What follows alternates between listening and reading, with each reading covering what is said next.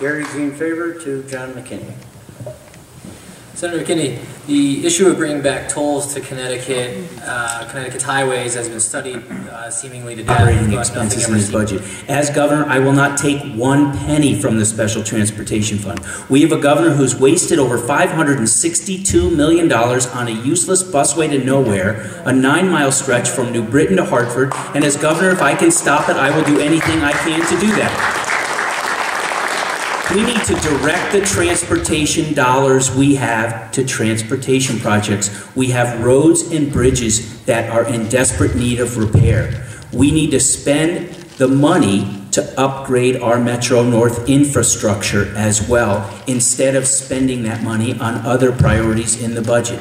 If we keep the money in the transportation fund, we have enough to sustain. And, you know, let me just agree with what Mark said as well. The last time Connecticut cut the gas tax, we actually generated more gasoline tax revenue because instead of going from Danbury into New York, instead of going from Enfield into Massachusetts or, or uh, Stonington into Rhode Island, people stayed home. Not only did they buy their gasoline, but they bought their other sundries as well, whether it's cigarettes or beer or anything else, and we lost all of that revenue.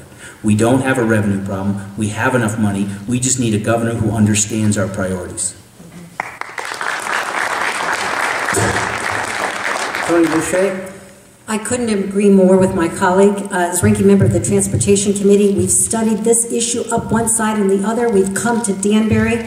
We see that 40% of the Danbury Mall residents come from New York, and you put a toll there, you can see how that would affect the economy there. There's no question, it's not equitable. People are taxed too much in Connecticut. This is just one more tax to put on top of them.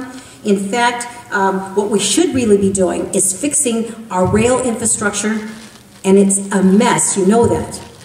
In fact, the entire state of Connecticut's transportation has been derailed.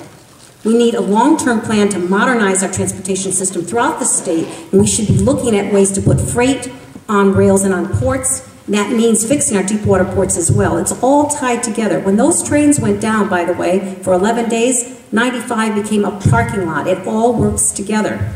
And yes, we do have a spending problem, not a revenue problem. The transportation fund has been rated year after year in the hundreds of millions of dollars. It represents some of that surplus, that fictitious surplus we were just talking about. We need to stop doing that and prioritize where the state belongs, and it belongs in fixing our infrastructure before it does anything new anywhere else on speculative projects in the hundreds, if not billions of dollars.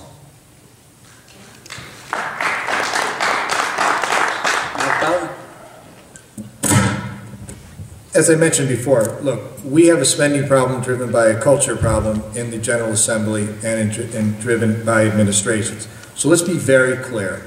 You can't give them another dime. If you give them more money, whether it's tolls, fees, whatever, they're going to come up with every wacky program you can to spend it on. So we have to understand that we have to change the culture of what we do in the legislature as well as what the administration does. And I just want to say one other thing about the busway. As long as I, when I'm governor of the state, not one subsidized bus will run up and down that nine miles. If it can't pay for itself, we're not going to be having any buses on that busway.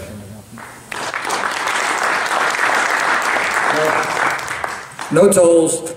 My son, a couple years ago, Joey, he lives in New York with my daughter, and they uh, they were going to come home on the megabus.